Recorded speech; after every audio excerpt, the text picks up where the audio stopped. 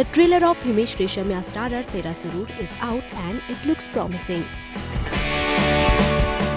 Himesh, who has worked hard for his physique, will be seen sporting six-pack abs and will be seen performing some daring stunts.